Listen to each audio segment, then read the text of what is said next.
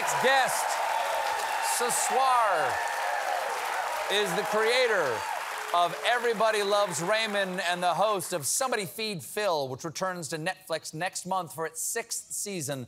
Please welcome to The Late Show, Phil Rosenthal.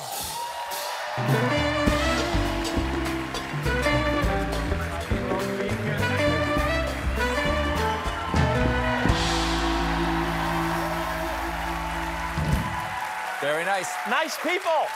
Hi, hi, hi. Uh, nice to have you on the show. Not the first time we met. We met backstage at the, the old show at one point. I, that was That's my, what I understand, I yeah. gotta tell you, I love that show so much. I, I, you're my, you're my absolute favorite.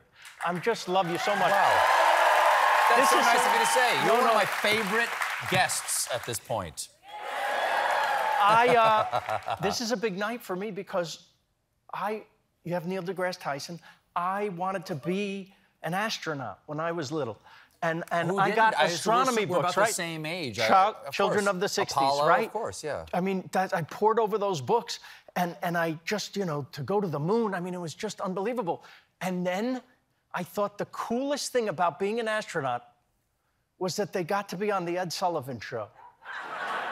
That's true. They would come by They- here. This that- is one of the stops. So this is full circle for me. No, you're, you're you know, obviously one of the creators of uh, Everybody Loves Raymond. Uh, You're a comedy writer. Did you,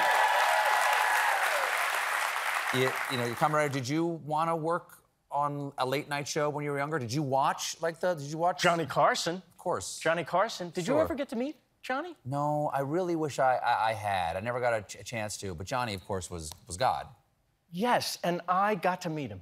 I did. You- I did. I'm I so did. jealous. When I'm did you meet. Johnny? I, I, I wrote jokes for President Clinton, and there's like a humor season in Washington, not like year round like now. Th- There was like Right. The Al Smith dinner, the gridiron, stuff like that. Yeah. radio, t- and, and the big one, White House Dinner, yeah. Dinner. And those were when they needed the most jokes. My friend um, Mark Katz was the, their comedy person they would bring in, and he would bring me in because I was from Everybody Loves Raymond, and they, they I guess they liked that. So I would write jokes, and I always wanted to do a video. But at the time, the president didn't do videos, and they thought I was nuts.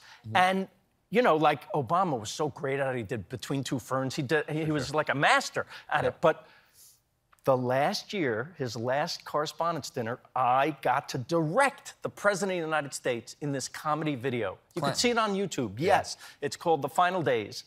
And I did it with my brother and, and Mark Katz and the people at the White House. And this thing hit the White House Correspondence Dinner, and my life changed. And the next day, my friend Tony DeSena calls me. He goes, I showed it to a friend of mine. He wants to have lunch with you. I said, Who's your friend? He said, Johnny Carson. Wow. Yes. Yes. Wow. So you I go. LA? Yes. You were out in LA. Okay. So when I got back to LA, I had, I guess, some chutzpah to ask, could I bring a friend? Because I knew, You need a witness. well, this fellow that I was working with, Yeah. like you just said, to, to Yeah. me it's Johnny Carson, Johnny Yeah. Carson, Johnny Carson. Sure. But to you, just said it, it's God. Yeah. So I brought my friend Ray Romano with me. and we had lunch, and we had, we got, went to his office, it was in Santa Monica, and then he comes out, he's wearing, I'll never forget it, he's wearing a yellow sweater yeah. white pants. He looked like he had just been playing tennis. He looked fantastic. Sure, probably had been. And then we went downstairs and we had lunch for two hours. Wow. Did you ask him? Like, what did you say? What do you talk to Johnny Carson about for two You hours? You become the John Candy character. Remember when you said this? That was great. Yes. You know that, and you. But Yeah. but so we're doing we're doing these bits that we remember from the show, and he starts doing his part. He starts like He was like, Art Fern back to you? Uh, yes, anything you wanted. It was like a dream. Karnak? I feel like it's like how you would be. So nice, so sweet. He was so warm and gracious. Why didn't you quit show business at that moment? Because that's that would be I, peaking. I had to get to you. beautiful. It was a beautiful pander. I really loved it. Okay. It's true. Now let's talk about your, your Netflix series. And Yes, Congratulations on, on, on the sixth season. Six. Somebody feed Phil. You go all around the world and Yes. you eat all kinds of food, Yes. and yet you're thin. Somebody has to. Okay. Now, uh, you've got some stuff back here. I do. To explain because to me you need to know. When I heard that you Yeah? like food as well, I love you food. don't. I bet It's one of my don't. favorite things to put in my mouth. Yes. You need to know about this place. You've been to Florence, Italy. I have. So yeah. the, the most famous sandwich shop in Florence is called Antico Vinaio. Okay. They opened at 9th and 46th. In New York. Yeah. So a sandwich shop from Florence has opened here. Yeah. Those are the only two branches. Yeah, so far. Okay. I have nothing to do with it. I'm not advertising. Would you like a little? Okay. There you go. How fun is this, everybody? This is Don't nice. you wish you were me right now?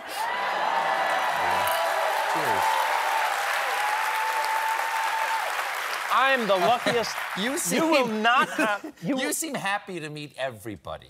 I am. Yes. I am. There's no one you're not happy. You've never. You've never been not happy to meet somebody. I'm the dentist.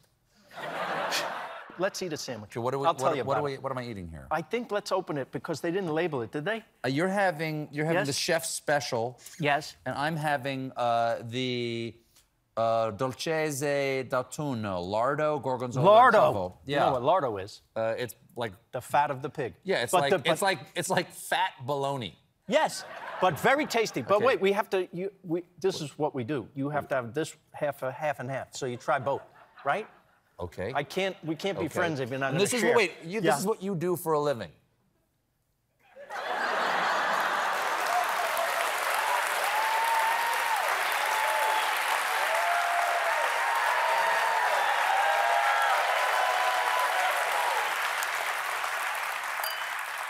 Life is good.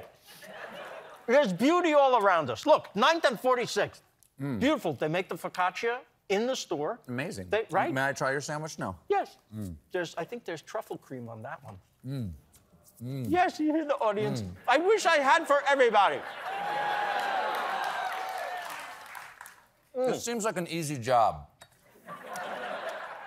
What's the hardest thing about going places? Yeah. Because like your show, Stanley Tucci's, you know, looking for Italy. Yeah. Did he find it? Not yet. do what do you, you go when you eat and you make friends? It's really, I'm on a mission. I'm just using food and my stupid sense of humor to get you to understand the beauty of travel. Uh, the world would be better if we all could experience just a little bit of other people's experiences.